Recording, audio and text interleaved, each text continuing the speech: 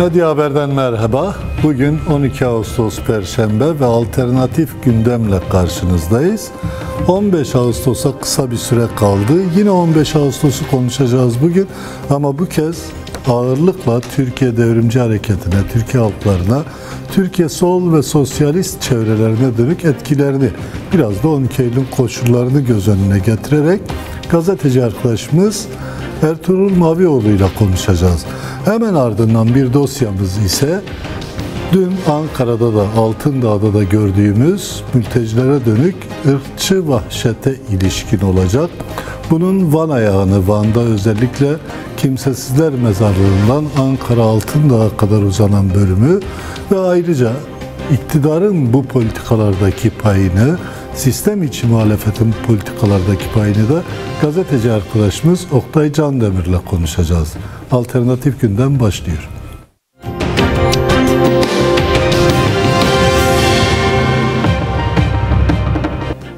15 Ağustos'u konuşacağız ama özellikle Türkiye devrimci hareketlerine, Türkiye halklarına olan etkilerini biraz da 12 Eylül koşullarını göz önünde tutarak konuşacağız. Konuğumuz gazeteci arkadaşımız Ertuğrul Mavioğlu Skype hattımızda. Ertuğrul merhaba, hoş geldin yayınımıza diyeyim hemen. Ee, doğrusu yükseltirseniz daha iyi olur. Sesi e, yüksek mi? Sesi alamadım tam olarak ben de. Sesim geliyor ama size değil mi? Bir sorun yok. Evet, geliyor, az geliyor. Peki sesi yükseltir arkadaşlar o zaman. Ben hemen e, biraz daha aslında 15 Ağustos'un koşullarından e, başlayarak konuşalım istiyorum. 15 Ağustos'un olduğu dönemler aynı zamanda 12 Eylül'ün etkili olduğu, tüm halkların başına bir kara basan gibi çöktüğü bir dönem. Biraz o dönemi belki e, unutan ya da bilmeyen e, izleyicilerimiz için hatırlatarak başlayarak başlamak istiyorum. Neydi o dönemde koşullar ve doğrusu Türkiye Devrimci Hareketi nereden nereye gelmişti 12 Eylül'le birlikte? Evet aslında ben e, biraz daha öncesinden e, biraz anlatmak istiyorum bu Kürdistan e, özgürlük ile nasıl karşılaştım, nasıl tanıştım biraz ondan kısaca bahsedip ondan sonra 12 Eylül'e geçmek daha faydalı olurmuş gibi geliyor.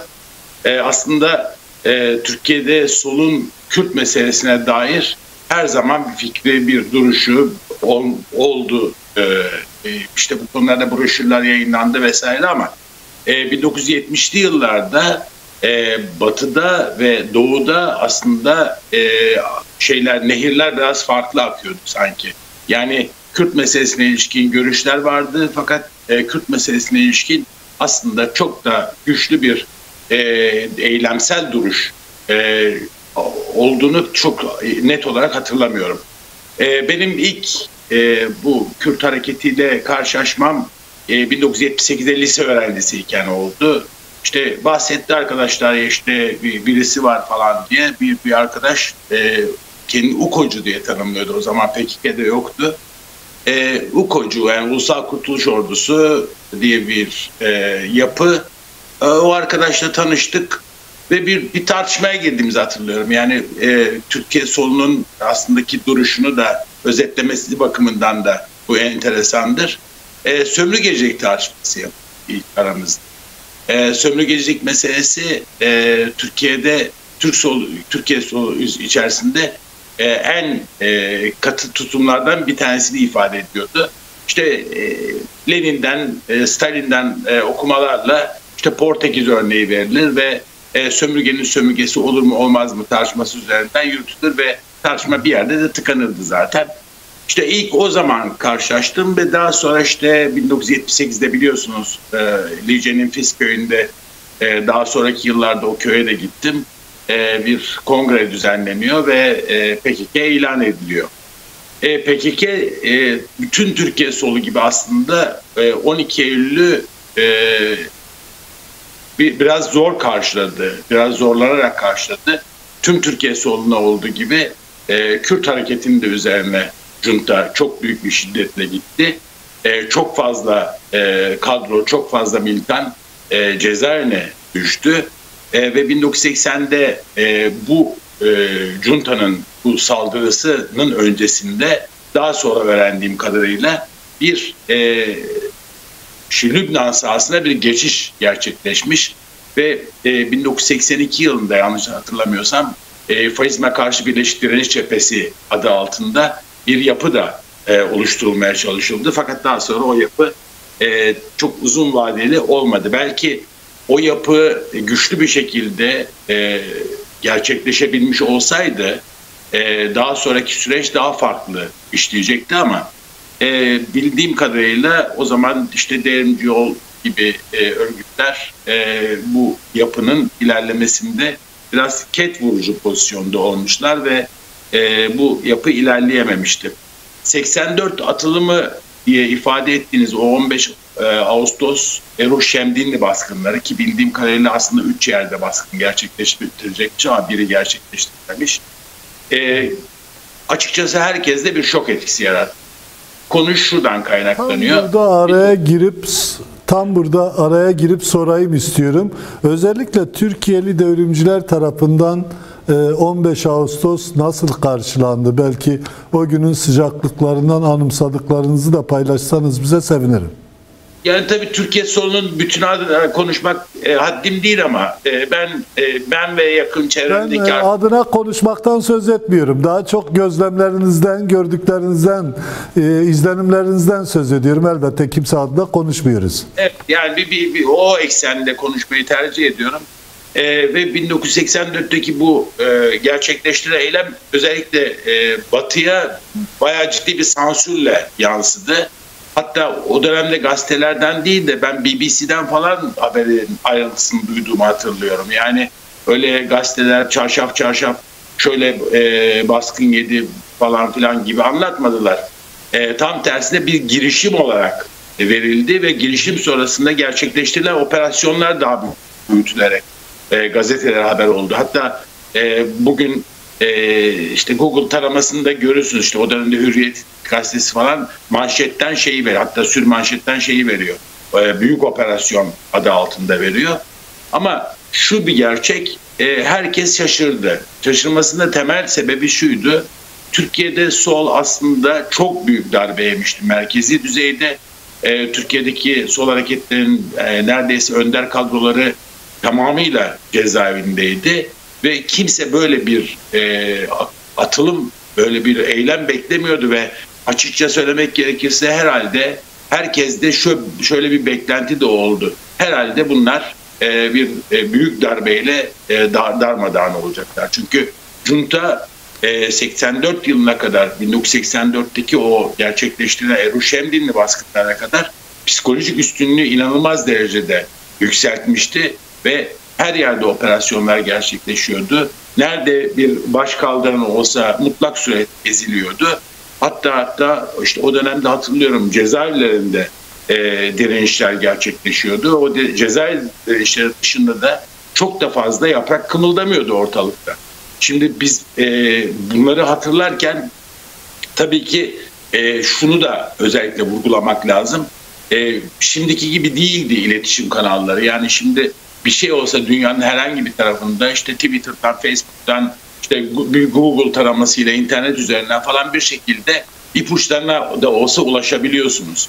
Zaten bu sosyal medyayla çok fazla hükümetlerin uğraşmasının sebebi de bu. Ama o dönemde gerçekten haber kanalları çok kısıtlıydı. Ee, evinde telefon olmak bir lüks sayılıyordu. Şimdi bu şartlar altında şunu hatırlıyorum ben. E, 1982'de biz e, Metris cezaevindeydim ben açlık yaptığımızda e, Diyarbakır cezaevinde yaşanmış olan hiçbir e, olaydan, hiçbir vahşetten haberdar değildik.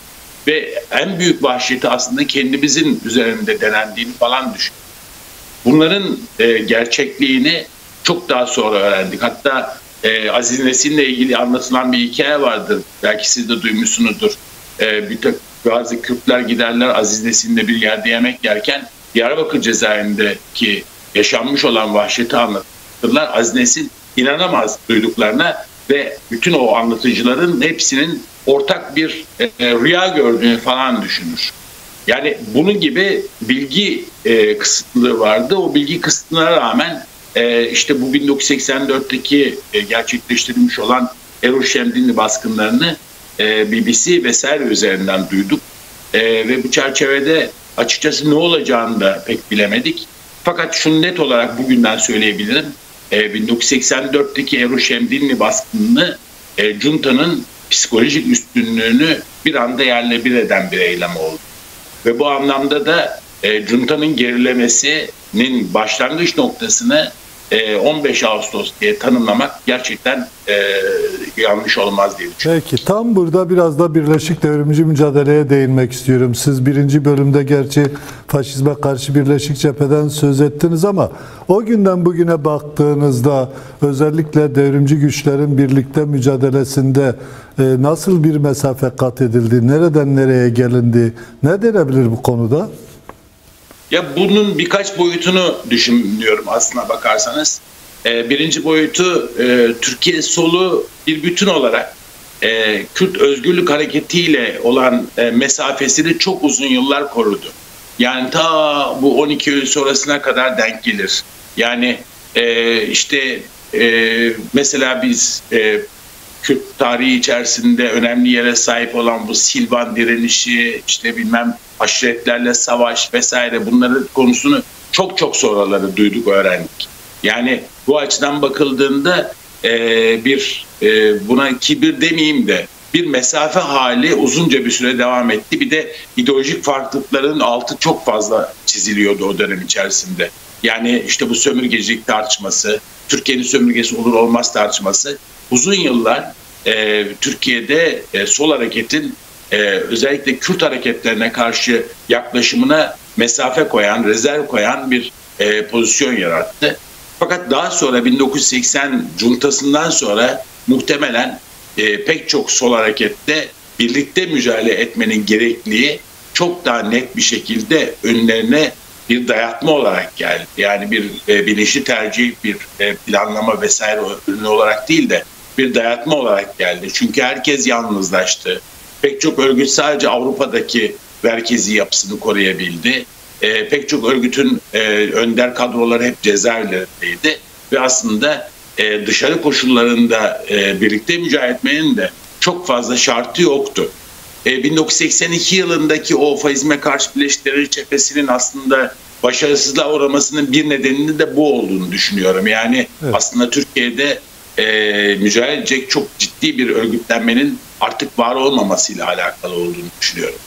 E, 1990'lara geldiğimizde ise birazcık daha tablo değişti. E, özellikle e, Kürt medyasının e, bilgilendirici gücü e, insanların e, Kürdistan'da neler olup bittiğine ilişkin daha fazla bilgi sahibi olmasında rol üstlendi. Bununla özellikle altını çizmek lazım. 1990'lı ee, yıllarda işte ben de yeni politikada çalıştım başlangıçta istihbarat e, servisinde e, çalıştım. İşte Gülten Kışanak, Gülse Özsökmenler falan hep mesai arkadaşlarımızdı. Ve bu anlamda benim için öğretici bir süreçti bu aynı zamanda. Yani e, ama e, diğer yandan tabii e, 1990'lı yılların o e, işte Batman, e, Diyarbakır gibi illerde tek kurşun, enseye kurşun, Hizbullah, e, Hizbullah kontra cinayetleri, e, onun dışında birçok yaşanmış olan katliamlar e, da, daha ciddi bir şekilde e, meselenin e, başka bir boyutunu önümüze koydu. Yani bu mesele e, sadece ideolojik planda tartışılacak bir mesele değil, aynı zamanda elini taşın altına koymayı gerektirecek kadar acil ve vahim bir mesele olduğunu e, bence Türkiye'deki bütün sol güçlere göstermiş oldu. Peki. Halbuki e, bu tür olaylar e, 1980'li yıllarda, junta yıllarında da e, gündemdeydi. TRT'den hatırlıyorum ben cezaevindeyken zaman zaman izlediğimiz işte tarlalara yayılmış olan gerilla cenazeleri. E, bunları gösterirlerdi özellikle bir üstünlük psikolojisini yaratmak için ama daha sonra işte bunların hepsini kaldırdılar çünkü hakikaten e, bu 1984 sonrasında e, ki ortaya çıkmış olan devlet açısından gerileme hali, psikolojik üstünlüğü kaybetme hali bu tür e, propagandaların da önüne kesti. E, 90'lı yıllardan sonra dediğim gibi e, bu e, Kürt hareketiyle e, Türkiye solunu bir araya getirme çabası ve Kürt meselesinin daha anlaşılır hale gelmesi, daha yakıcı bir mesele haline gelmesi e, Türkiye solu açısından diyorum. E, bence e, olumlu yönde bir takım adımların da atılmasının öncülü oldu diye düşünüyorum. Peki. Ee, burada e, biliyorum bir dönem 2013'te başladınız daha sonra 2015'te de zaman zaman görüşmeleriniz oldu. Ee, Bakur belgeselini yaparken şimdi Bakur kitabını da yapmışsınız. Bilemiyorum bir yayın evi bulabildiniz mi? E, yayına vermek için o konuyla da ilgili çabalarınız var. Onları da anlatırsınız ama bir de doğrusu şu Kenan Evren'in 72 saatiyle Süleyman Soylu'nun bitti bitiyor serenatını ki o güne kadar herhalde 50'den 60'tan fazla devlet yöneticisi aynı şeyi yaptı. İki e, grup 50 gerilla, 60 gerilla, bilmem belki 100 gerilla Şimdi ise 37 e, yıldır e, savaşan büyük bir gerilla örgütü. Aslında belki de dünyada ayakta kalmış e, tek gerilla örgütü de denebilecek bir örgütten bir yapılanmadan bahsediyoruz. O bitti bitiyor serenatlarını da biraz gazeteci gözlerinizle değerlendirseniz ne tablo çıkıyor? O Bakur'un da tabii doğrusu halka yansıdıktan sonraki hikayelerini de bize anlatırsanız seviniriz. Ya bu bitmeyen bir serenat aslında. Yani Kenan Evren e, cuntası e, o kadar hızlı başladı ki, o kadar saldırgan, o kadar vahşi bir şekilde başladı ki işte bunun örneklerini cezaevlerinde gördük. Cezaevlerinde insanları katlettiler, esir aldığı insanları katlettiler. E, dağ başlarında insanları katlettiler, köylüleri katlettiler. Yani e, bu, bu süreç aynen devam ediyor tabii, hala devam ediyor ama diğer yandan bu bitti bitiyor e, senaryosu da e, ben bir katkı yapayım. O Doğan Güreş, Tansu Çiller ikilisinin Takşak Paşa diye adlandırılan Doğan Güreş işte o bana şak tak diye söylüyor ben şak diye yapıyorum gibi e, söylemlerini de katmak lazım belki. Belki işte Mesut Yılmaz'ı da katmak lazım. Belki 99 yılında Abla Hocalar'ın e, uluslararası kontrole e, cezaevine atılma sürecindeki Ecevit'in tutumunu da katmak lazım hep böyle bir bitirme hali var. E, ben diyorum ya 78 yılından beri ki aradan 43 sene geçmiş. E, bu arada yaşımız da bayağı, bayağı ilerlediğini fark ediyorum. Hep aynı senaryoları e, hem e, bu e, süreci başından sonuna kadar izleyen bir insan olarak hem de bir gazeteci olarak gördüm, tanık oldum. Hala da Süleyman Soylu benzer şeyler söylüyor. Hatta zaman veriyorlar. Bir ay, iki ay, üç ay, beş ay ve e, dikkat edilirse de e, her hükümetin sonunu getiren aslında e, bu verdikleri bu söze rağmen oldu. yenemedikleri bir Kürt özgürlük hareketi gerçeği. Esas olan da... Bakur'la ilgili de kısaca bilgi verseniz ondan sonra tamamlayalım istiyorum. E, Bakur benim açımdan şöyle bir boyutunu söyleyeyim size. E, biz Bakur'un çekimlerinden önce 2010 yılında ben Murat Karayılan'la bir röportaj yapmıştım. O zaman Radikal Gazetesi'ndeydim. E, ve ilk kez e, dağda gerilla ile karşılaşmam 2010 yılına yani 11 sene olmuş aslında bakarsanız az bir süre de değil. Ama o dönemdeki e, karşılaşma sonrasında bu 2013'te e, gerillaların çekilme, geri çekilme dönemiydi. E, o dönemde işte Murat Karayalan bir basın toplantısı düzenlemişti. O zaman bir daha çıktım. E, Bağız Erdal'la bir röportaj yaptım. O zaman da bir gün gazetesi için yapmıştım röportajı. E, bunların hepsi biraz şeyle alakalı. Hani ateşe ne kadar yakın durursanız e, ısıyı o kadar iyi hissedersiniz. E, bakışımla alakalı. Yani gazetecilik öyle sahada yapılan bir iş. E, ve tanımadan bilmeden e, yapılacak bir iş değil. E, Vakur süreci ise e, 45 gün dağlarda kaldığımız, gerillalarla, gerillalarla aynı koşulları e, yaşadığımız bir süreci ifade ediyor. Dersim'de, Ahmet'te, Botan'da öncelikle farklı sahalarda gezindik. Daha sonra işte Metina, e, Zap, Avaşin, Gare, e, işte Kandil bu bölgelerde de çeşitli çekimlerimiz ve röportajlarımız oldu. E, benim e, dikkatimi çeken e, gerilla kimliği üzerine birkaç noktadan bahsetmek istiyorum. Çok Öncelikle, kısa mümkünse çünkü yani, zamanımız çok daraldı. Bizden sonra e, biz daha sonrasında bir başka konuyu da ele alacağız. Onu da doğrusu ayrıntılarla işleyelim istiyorum. E, bu geçirdiğimiz zaman içerisinde e, açık söylemek gerekirse e, bütün gerillalarda bir e, sürecin, bir birikimin e, sonuçlarını net olarak görmek mümkündü. Bu bir ne tezahür ediyor? Özveriyle tezahür ediyor, doğaya uyumla tezahür ediyor. O ekoloji söylemi boş yere değil, onu net olarak gözledik komünel bir hayatın e, örgütlenmesi, bir arı kovanı gibi işleyen bir komün sistemiyle kendini gösteriyor.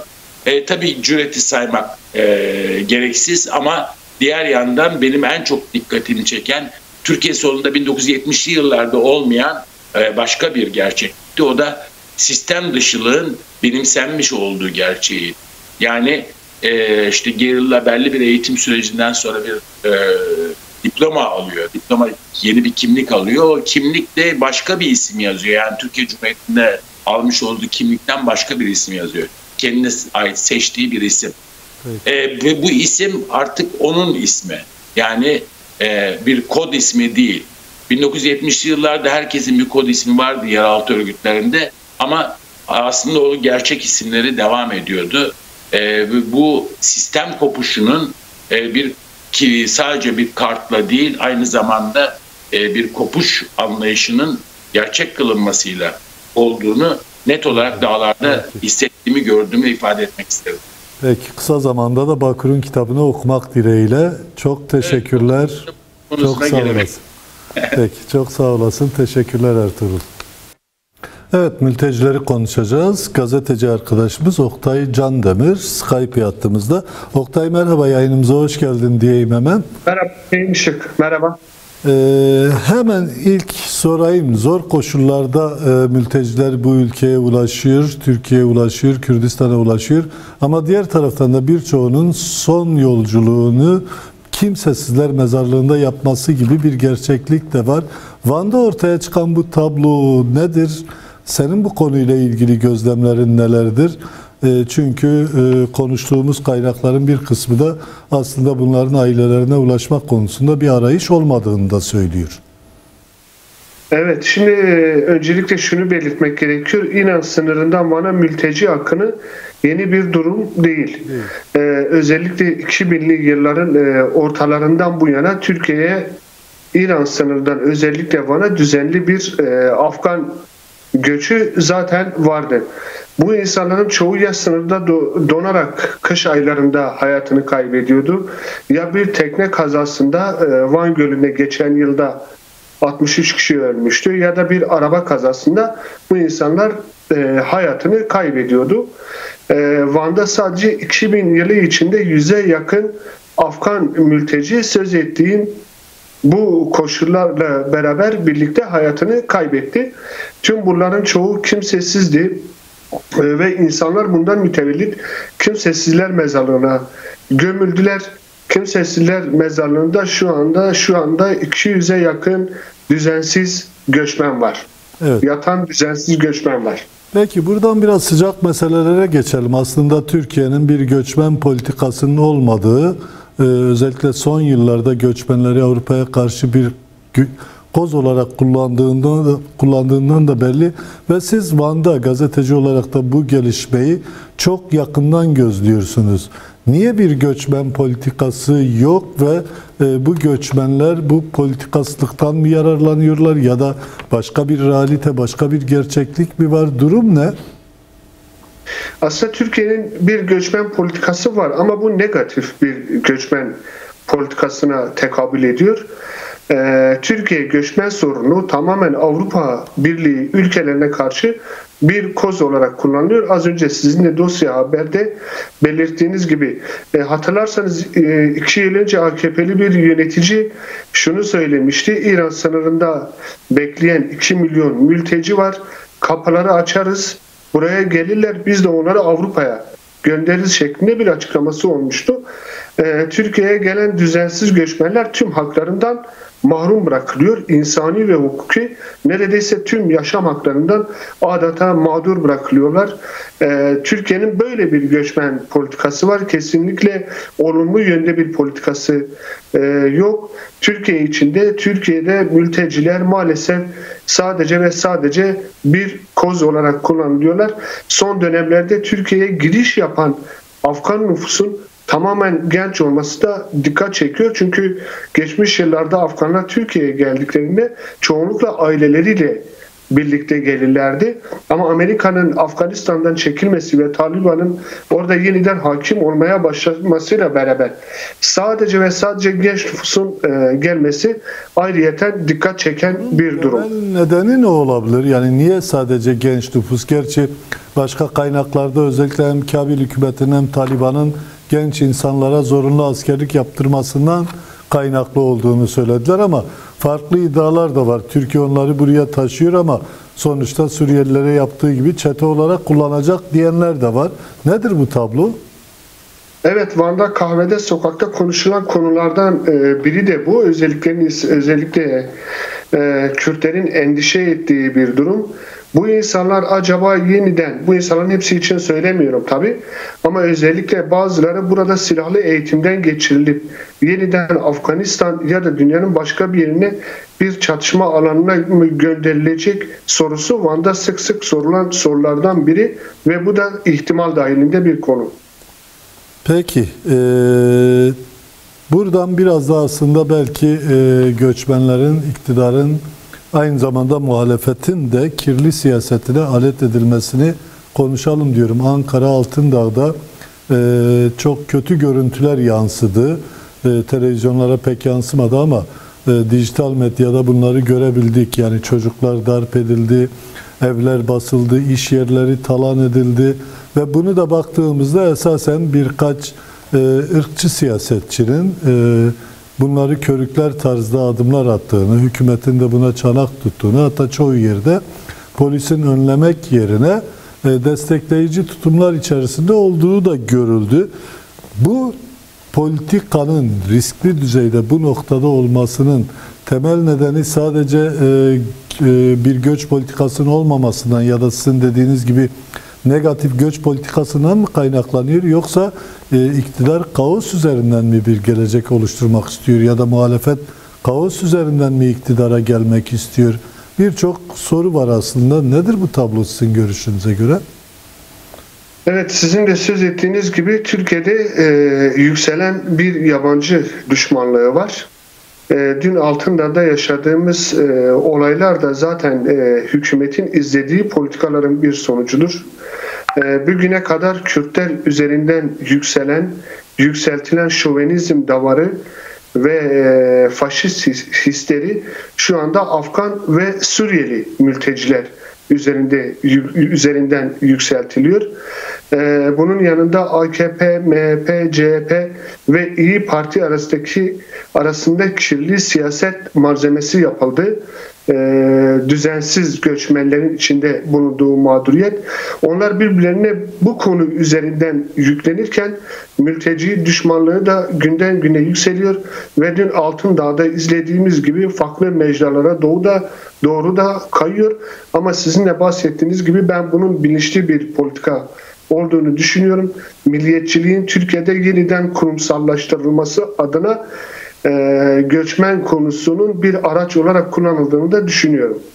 Peki. E, son soruyu soracağım ama özellikle e, yanlış ha? anlaşılmasın. Bir ırkçılık e, kıyaslaması yaparak sormak istemiyorum.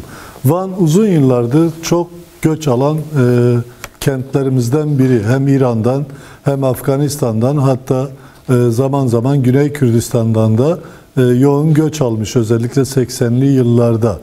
E, bugüne kadar Van'da gerçekten bu şekilde halklar arası göçmenlerle yerliler arasında bir kapışma ya da Ankara'dakine benzer bir tablo oldu mu geniş boyutlu? Olmadıysa nedir tablo oralarda? Yani halkı motive eden başka etkenler mi var ya da farklı bir durum mu var?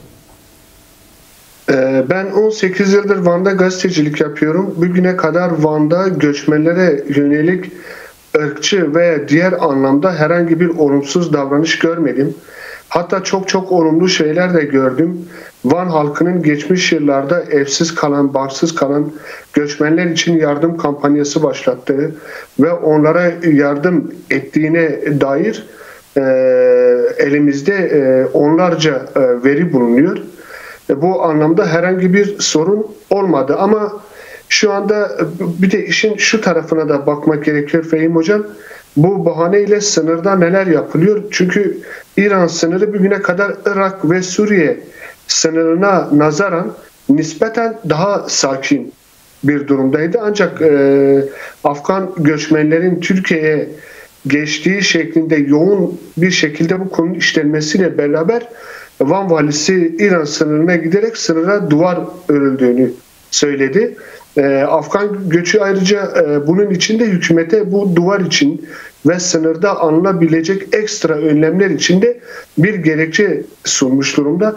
Şimdi ve İran ve Türkiye tarafında biliyorsunuz birbirine yaşayan akraba olan Kürtlerin arasına duvar örülüyor. Şimdi bu duvara en az 500 metre yaklaşmanın yasak olacağını düşünürsek köylülerin meraları, tarlaları tamamen askeri yasak bölge kapsamına girecek.